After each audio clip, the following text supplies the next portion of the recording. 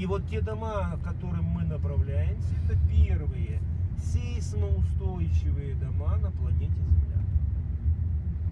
Хорошо бы еще какой-нибудь увидеть, которые валят сейчас, показать вам решетку Памбала, как это именно сделано было, чтобы вы не, не только слышали, но и пощупали ее рукой. Ну вот, вот это землетрясение,